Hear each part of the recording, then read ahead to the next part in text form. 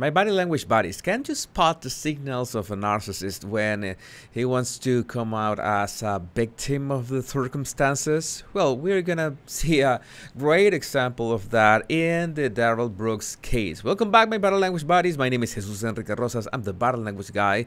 And uh, this case, uh, Darrell Edward Brooks is accused of killing six people when he drove his SUV into the Waukesha Christmas parade on November 21, 2021. He is charged with six counts of first degree intentional homicide for which he pleaded not guilty. He will be uh, representing himself during the trial. Not only was uh, six dead, but uh, dozens of people uh, injured. Um, he was just detained on, on the spot, and well, this is his uh, trial. He's gonna represent himself, and you know what they say that uh, anybody that represents uh, himself has a fool for a client. Uh, this is a, a, a, train wreck. I'm going to call it just before the analysis. This is just a train wreck, but we're gonna be spotting both his body language and his words, his arguments. So deconstructing and analyzing every word and sentence he says uh, to spot those patterns. This is his opening statement. Um, obviously, I don't have any uh, rehearsed or well well prepared speech, so I'm just going to speak from the heart.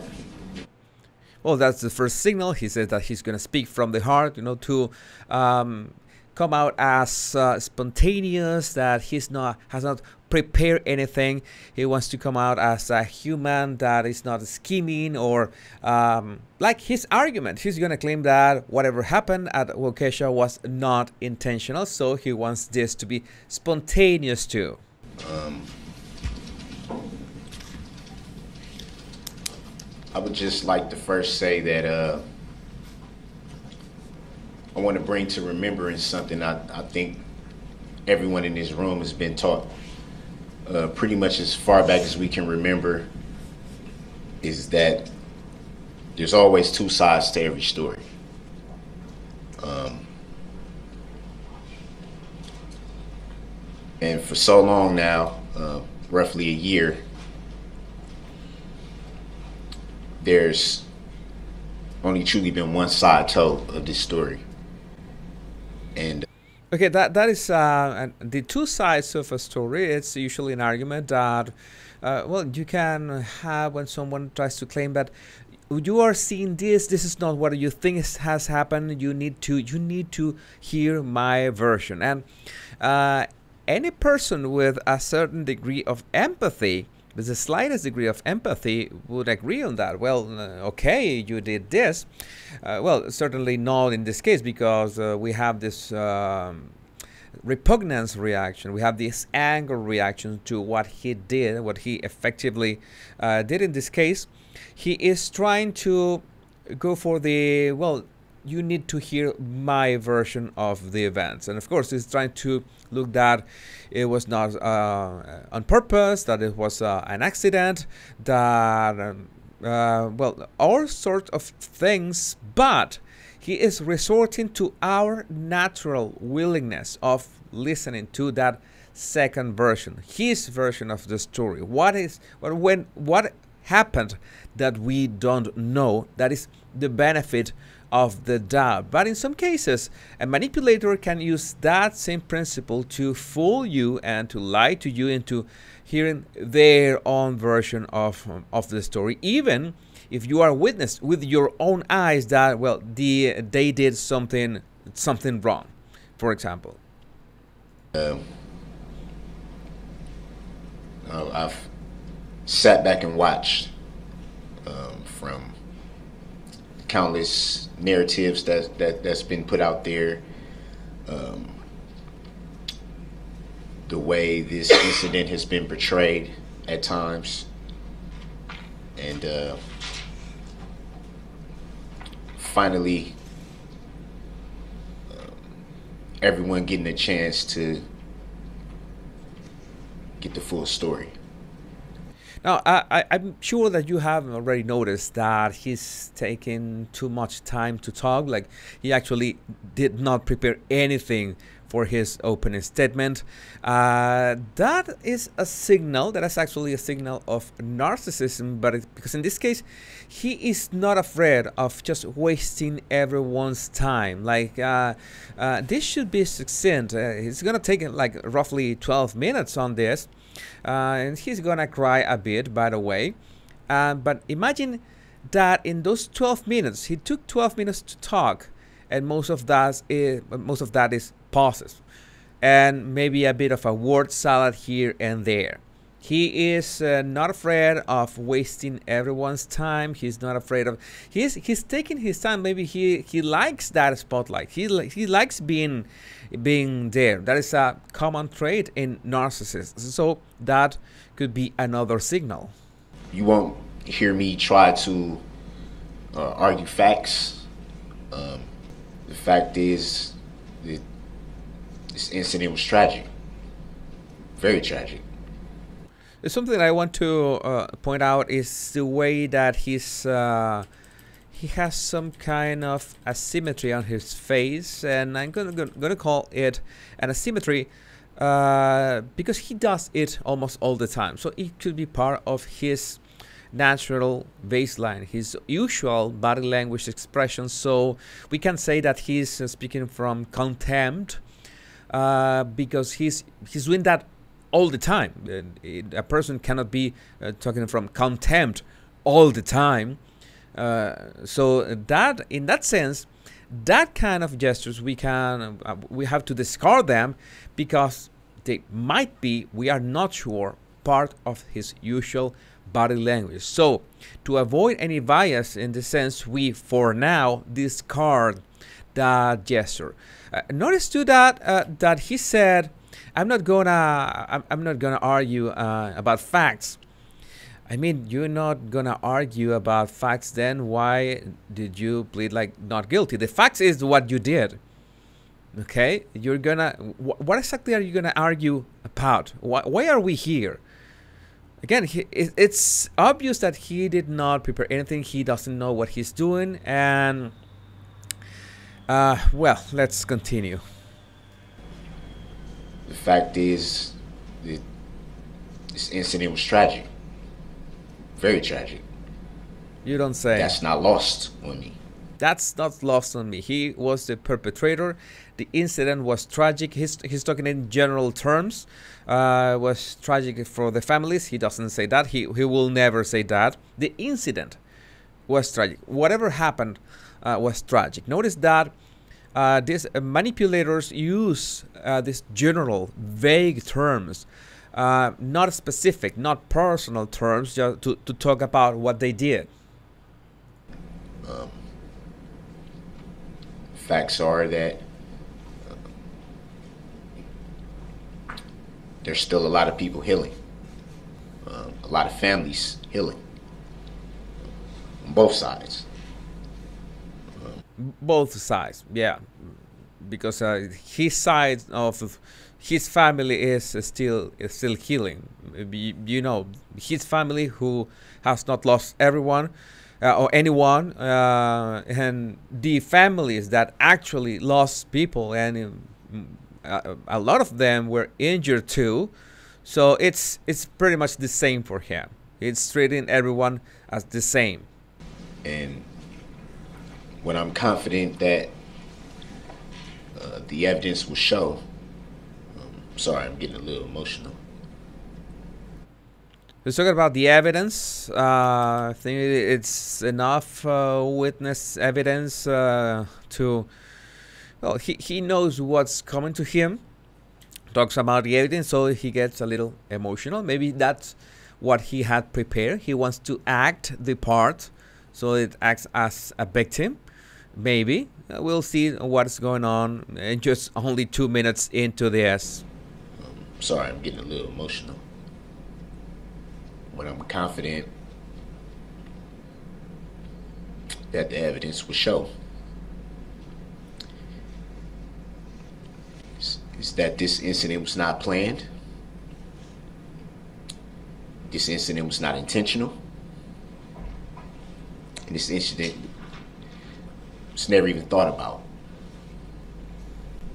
it's easy to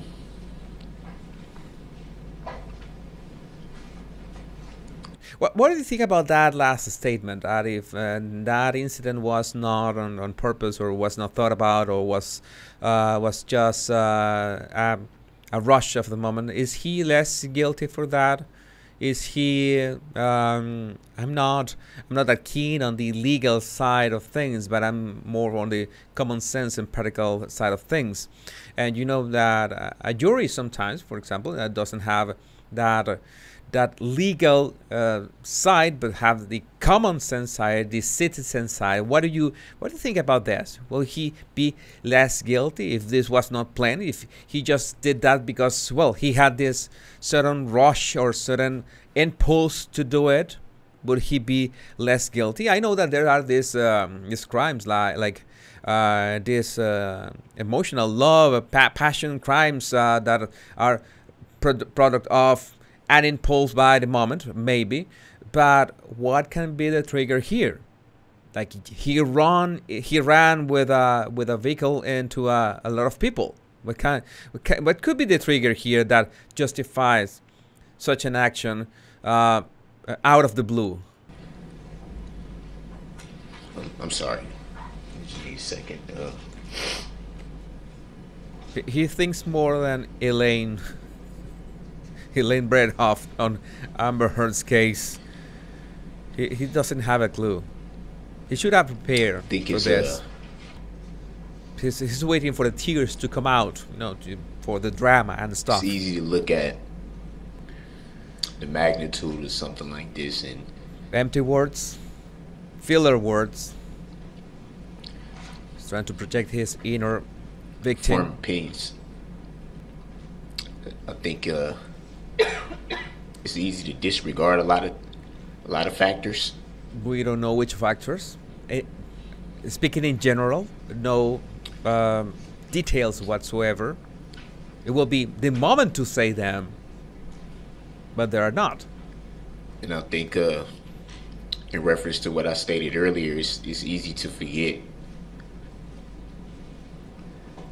the other side of the coin. Again, speaking about his side of the, the, the conflict, his family, his uh, well, what what was going on. We want to know. Any details? There, has been a, a lot of suffering involved in this incident. A lot.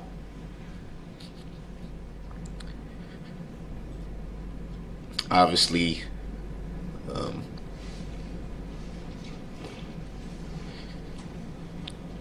with the families.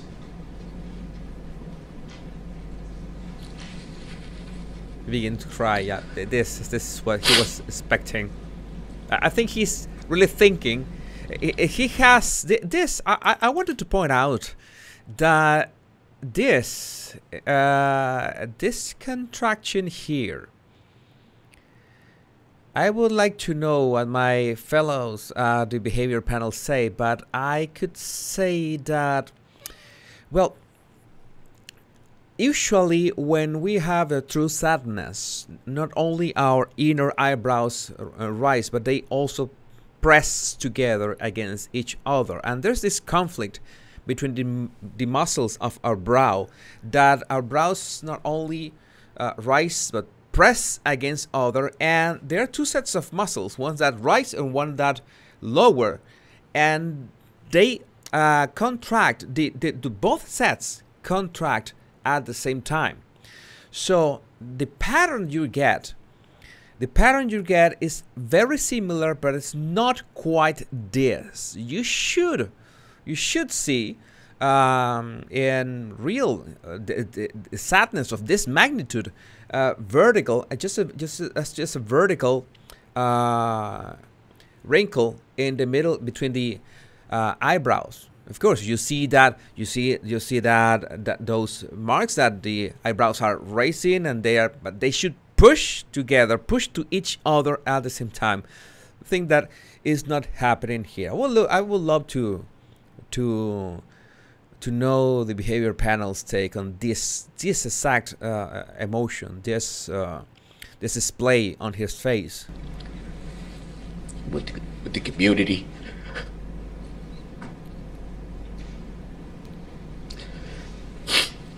and uh, even the alleged the alleged defendant's uh, family as well. There's, there's been a lot of suffering. That, that that we already know. You already said that before. A lot of misunderstanding. Yeah, misunderstanding. What what did that we we did not understand? I don't know. we would like And, to know. uh, I just want you to keep in mind, uh, everything that will be uh, presented in its totality. Keep in mind. I, don't know. We have the idea that he doesn't have any witnesses at all.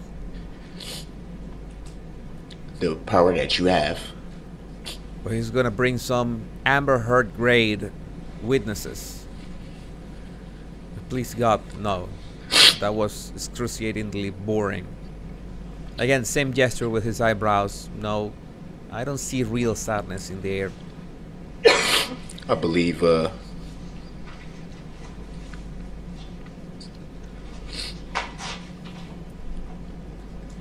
that shouldn't escape your, your knowledge.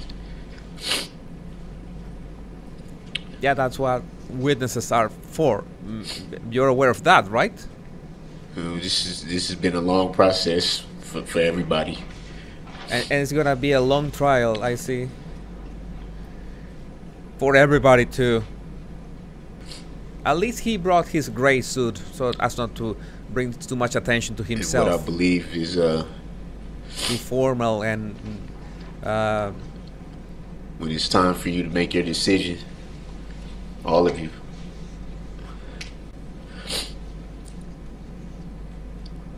I believe that, and I pray that it's the right decision.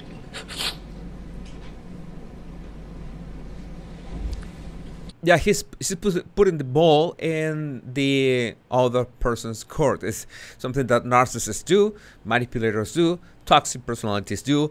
Is that I hope you make the right decision. Like he he just screw up with his life, and he's expecting the the people, the rest of the people, to well make the right decision this time. Uh, it's yeah, kind of hypocritical, and that is uh, something not surprising in this kind of events.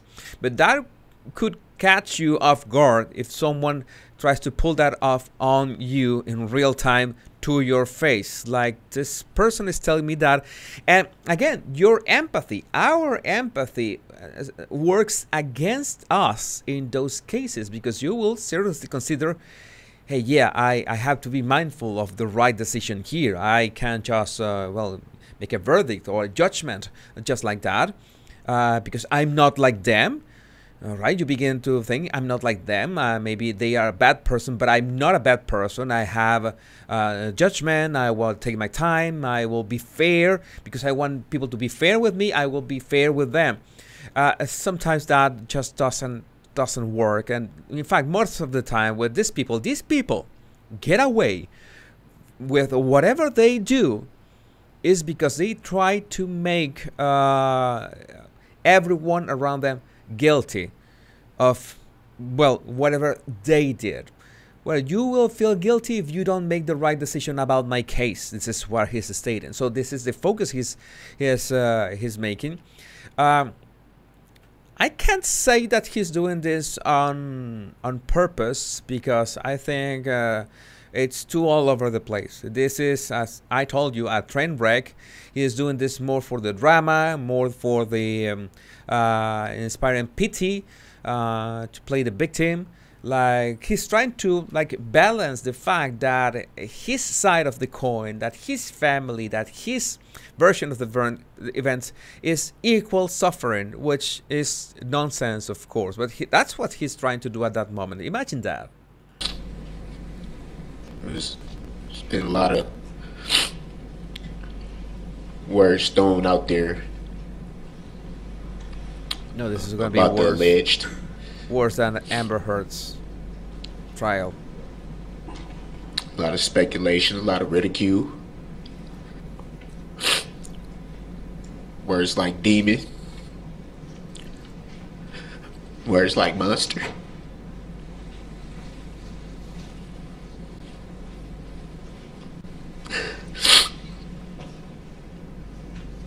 Public service announcement. Never uh, represent yourself in a trial.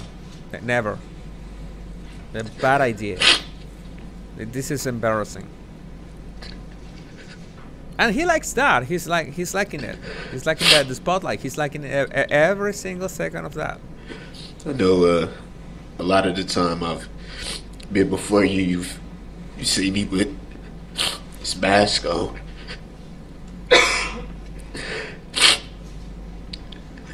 I've had my reasons for that. But I feel now is the time to. It's important that you see before who I am. No mask. Yeah, that, that's another um, tool that they use. Uh, don't look at my action, uh, my actions. Look at who I am okay and in fact uh, your actions define you. That that's that's the that's the, the, the reasoning behind your actions because uh, uh, you can connect your actions directly to the person. You can connect the actions directly to the person. But manipulators are going to use some kind of a strategy like this like don't look at what i did look at me as a person. Uh, do, do you think that uh, can't you imagine that i would do something like that without provocation, without a good reason, without being mad at the moment, without being uh, a, a, a, sudden burst of insanity. That is not me. Look at who I am. So they will they will do this. Separate themselves from their actions, like their actions are not product of their own character, of them themselves. This is important because it's a recurring tool and can be used in many ways, in many uh, yeah, in many ways, in verbal ways, many, paraphrasing this, but uh, it's important to identify that separation. Look at who I am, not what I did. Okay? And they sometimes use this uh, in the other way, telling you that you are better than this, you are better than whatever reaction you have. Uh, this is not the way you react, usually react to things. You are much more um, uh, serene, much more uh, fair than this they will manipulate you into this. Like you are overreacting. You are that is not you. You never overreact. You always take things uh, uh, think things clearly even if they did something that yeah it uh, uh, it it forces you to act in a way and say hey uh, i can't stand this anymore. Even if those moments they will try not only to them separate themselves from their actions but tell you that no, that is not the that's not the real you. That you are you are overreacting. You are more kind. You are more understanding. You are we have been happy together. That that is something they trying to uh, uh, make that separation between the person and their actions, both in themselves and in you. For who I am, I think this is the moment for that. I pray that you're. Uh, Your eyes and ears remain as open as possible.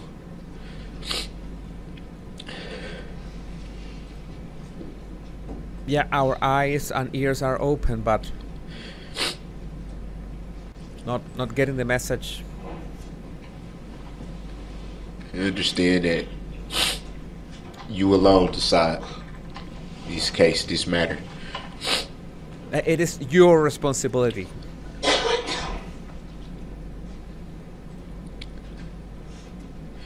The power is in your hands. All of you. You are the one responsible of the outcome. You are the one who has to for yourselves well. what truth is. Thank you. So well, this is not going to be the last uh, video I analyze from this case, rest assured. There are other clips, especially when he begins to, well, like threat the judge and many shenanigans. And I will be reviewing that on other uh, episodes. My Body Language Buddies, my name, my name is Jesus Enrique Rosas. I'm the Body Language guy. And remember to download my 100 Body Language tips right in the description of this video. Much love and bliss.